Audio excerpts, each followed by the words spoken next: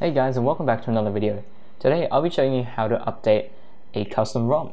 So a lot of people ask me to do the monthly security updates for the stock ROMs, but I haven't really touched on how to update a custom ROM as it's kind of not extremely straightforward I guess. I guess it's easier than updating using when compared to using factory images for people on stock, but updating a custom ROM still involves a little bit of checking and making sure things are going to go okay. So it is a little bit simpler, but still requires, I guess, the amount of brain work, the same amount of brain work as flashing the stock images. So right now I'm on Pure Nexus and I'm going to use this as an example and I'm going to be updating to the, the second or the 15th of the second um, secure, sorry, Pure Nexus update, which uh, takes into the latest February security update uh, using the Verizon variant of the factory images. So I think that's the I just quickly double check, it is the NUF26K and that is what it is based off of. So to do this, uh, you can probably follow this kind of the, the principles that I'm going to outline here for any custom ROM that you might be using, whether it's Resurrection Remix or uh, some other thing. But uh, this is kind of like the basics of how to do it and what you should be looking out for when updating uh, your custom ROM. So you will need to visit, of course, the the ROM thread, either on XDA or some other website, and you want to make sure this is where you're going to check for updates. Optionally, they might have a Pushbullet channel or they have a Google Plus community like Pure Nexus does, so you can follow that and they'll tell you whenever updates come out. Such as in this post, you'll see that they have updates for the second or the 15th of the second. So these are all the available updates for different um, Nexus devices. So you can see here also on the XDA thread, if we go down, we can also have a look at the downloads and change logs, and we have a current release download link, which takes us to the post, the XDA post of all the updates, where the updates are, and all that. So you can find all the links there to the ROM, Google Apps, and vendor images, as well as the changelog. Now this might be different for a different ROM. Uh, if I can just pull up another example, I guess, real quick, uh, as to not deviate too far from what we're doing. For example, uh, let's say this one.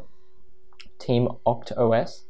And well, I think what you want to be doing is looking at, I guess, where where you would download it, and maybe you want to have a look at the change logs. So these are things you want to keep your eyes on uh, in case they do release an update.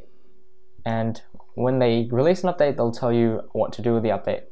So I, I don't think this is a very good example, but the example of Pure Nexus, if you join their Pushbullet channel, they'll tell you when there's an update, they'll push it out, and then all you have to do, and they'll pretty much take you to this or their own XDA post about this. So this is, uh, I guess, very centered on um, Pure Nexus as it's kind of a, very nice ROM. So yeah, this is probably similar to other ROMs, but may not be exactly the same. So in the case of Pure Nexus, they provide a link to the ROM, Google Apps, and vendor images for the latest update. Now this is very important. So you will need to obviously download the ROM. You would you won't download you won't need to download the Google Apps if you're already on Pure Nexus and have the Google Apps there, as we're not wiping the system when we're doing this.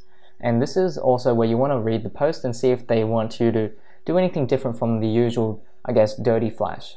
Uh, as we are not wiping anything, we're not making anything clean, or we, or if they suggest a clean flash, then you probably want to do that uh, to, because they probably know best. So right now he hasn't said anything about doing a clean flash or anything like that. So we're just going to go ahead with the dirty flash.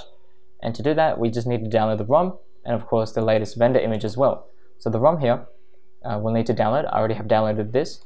And of course the vendor image for the NUF26K, which is what this the ROM is based off this new update.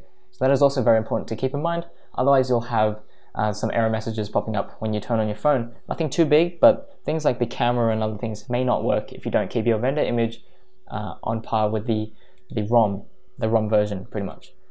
So uh, like what I was saying about Google Apps, you don't need to download this unless you wipe your system and you need to reflash Google Apps.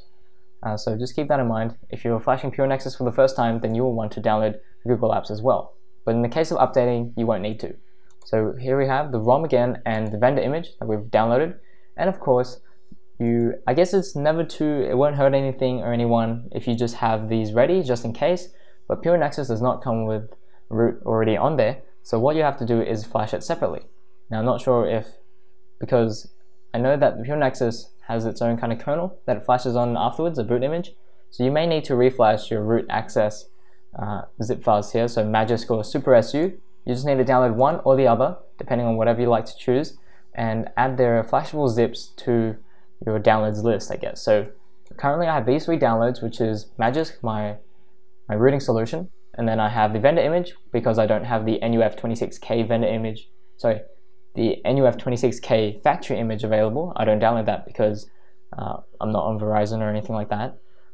Uh, so if you already have the factory image for the NUF26K, you can just extract the vendor image from within there instead of downloading it separately. Doesn't really matter. And of course, we have the ROM. So all these we'll need to copy to our device, obviously.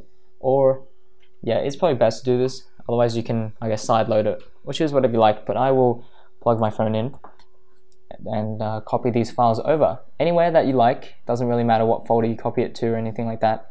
And what I'm going to do is just quickly do this. Let me turn it to transferring files and we shall see that our device is here. And you might want to make a new folder on your internal storage just so um, everything looks neat. You can see I have some previous files here. I'm just going to delete those. Uh, you don't have to, it's just so I can show you a little bit easier what things to flash. So I'm going to copy all three of these files onto the internal storage. This won't take too long. Uh, some of these files are a little bit bigger than the others, but uh, roughly less than a minute should do just fine. So I'm going to wait for this to copy over, and then we're going to reboot into TWRP. Now I prefer using TWRP rather than using Flashfire of sorts because in TWRP you can make a backup and you can pretty much always get back into the recovery to restore something if anything goes wrong. But uh, if you decide to do it through Flashfire, you kind of need the app to restore things, uh, to my knowledge at least. So if I happen to be wrong, then I guess you could use Flashfire if you like, but I'll be using TWRP for this tutorial. So we have everything copied, so we can restart our phone into the recovery mode. So we can tap on reboot and then recovery. Pure Nexus has this built in. So once you've downloaded the required files and that you've read the updating instructions, uh, generally if there aren't any instructions, you can just go ahead with a dirty flash, which I'm going to show you in this video. And once that is done, we should be able to reboot without any problems. So usually the steps for this is uh, I recommend making a backup. I've already done this previously and nothing has changed too much since my previous backup so I won't be needing to make another backup here in TWRP today. But in the case that you don't have a backup and you want to create a backup, which you should, then go ahead and create a backup and I'll show you how to do that real quick. Uh, uh once we get into TWRP that is. Okay, so we're in. And to make a backup, you tap on backup and the boot system data, and you might want to back up the vendor image this time, or the vendor partition. Now this is because the latest version of Pure Nexus has uses a new vendor image, the NUF26K as we mentioned earlier, and if you have to go back for whatever reason, then you might want to select the vendor image as well, just to make the restore process a little bit easier. So once you've selected this, you're going to hit uh, swipe to backup and just let it do its thing. I'm going to cancel this because I don't need it. Am I too late? Oh no, okay. That is fine. So, uh, once you've made your backup, uh, I did pretty much forget to mention just then that you need to disable your screen lock, otherwise you may have some problems getting back into your device once you restore your backup. Uh, it's just something to do with 7.0 being annoying. So, uh, to fix that, I guess all you need to do is um, there's a zip that you can flash uh, in TWRP that removes the screen lock. I'll leave that in the more info below if uh, you made a backup with the screen lock still enabled. I do apologize, I forgot to mention that, but maybe you don't need a backup. So what we're going to do now is tap on install and locate wherever our files were copied over. You can see the Pure Nexus zip file is down here at the bottom and we're just going to tap on that and swipe to confirm flash. Now that will just do its normal ROM flashing procedure where we can just wait a little bit uh, to for it to flash its system and any other things that it may need. So this will add files, replace files, things like that, and won't necessarily warrant a wipe. So this will keep all your data still there, and nothing will have been erased. So it's just finishing flashing the system, and I think it should flash a boot image or a kernel. There we go. So at this point, I think that it, you would need to reflash your root your rooting zip. So SuperSU or Magisk, if the kernel has been replaced. I'm not sure, the terminology isn't my thing just yet, But just in case I'm going to flash Magisk again, uh, there shouldn't be really any problems doing so. You can see that has done its, uh, or installed itself properly. And same goes for SuperSU, you might want to reflash that as well. And then we're going to wipe the cache slash Dalvik. And this will increase our boot times by a little bit, but uh, it may give us, I guess, better performance um, once in a while. So you might as well. And one last thing we have to do before rebooting our system is that we'll need to flash the new vendor image that we also copied over. But you may be wondering that it hasn't actually appeared down here along with the zip files. That is because we need to tap on install image, the button down here, let's just point to it, and that will reveal our vendor image that we can flash. So we'll tap on that and we'll select that it is a vendor image and we'll swipe to confirm flash. And that'll make sure that our device works, uh, well, the best that it can with the latest vendor image, one that is suitable for the ROM, and we're going to tap on reboot system. Now this boot up will maybe take a little bit longer like I've mentioned earlier after wiping the cache and Dalvik. So I'll fast forward this until we get into Pure Nexus again and hopefully we'll see that nothing has gone wrong and that our data is still there whilst having the updated Pure Nexus builds. Now if we just take a look at the changelog real quick while our device is booting up and that can be located here. Uh, you can see they have an upcoming changelog already at the top here for the next version. You can see how we have a couple of changes here. Uh, the a lot of things for themers, and we also have a little disturb tile, the do not disturb tile long press uh, to show the details instead of going to the settings page, I think, uh, which is definitely neat, which I use that a lot, and a new a, a few new features that are enabled as well, and that looks pretty cool, such as a enable recent kill as a floating action button.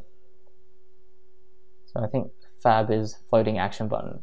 Yeah, so we can have a look at that to make sure that we're on the latest version. And that should be it. So yeah, you can have a look at the change logs to see what's new. But uh, right now, we'll wait for our device to turn on fully, and then we'll take a look at some of the things that mentioned in the change log.